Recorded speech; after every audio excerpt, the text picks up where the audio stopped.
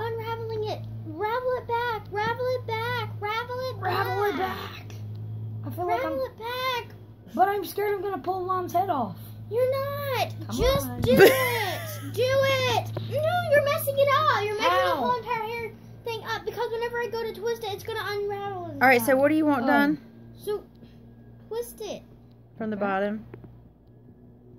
Like that. Is that good? Just come over and hold this for me. My god. I can hold both of them. I'm driving You a don't car. unravel it. Mm. Okay, thanks.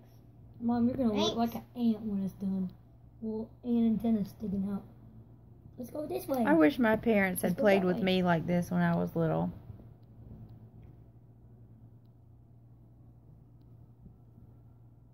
I don't know what I'm doing. I'm so random.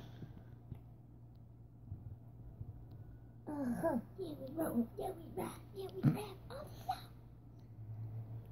Whoa. Sorry. Are you tying my hair in a big knot? No. Are you braiding it? Yes.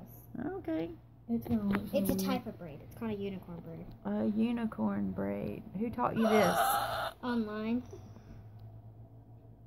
Is it two twists? Is it And you freakish? twist them together? Uh-huh, it But it's in different directions and stuff. It's real hard to do.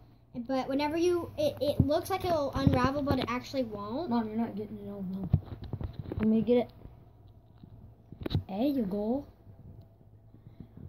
Most people say, "Oh, that's going to unravel and stuff," but whenever you try it, it doesn't really unravel. I think it's actually pretty cool because it doesn't unravel. Okay. And, and I came up with a um.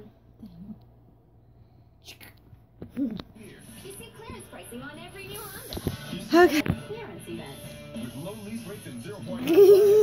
Actually OTP stay. law. Best advice of my life. Protect yourself. Real pretty. It's like a unicorn OTP horn, like that. the workers' compensation I needed to get better and get back to work. Call us at OTP Law. It's just that easy.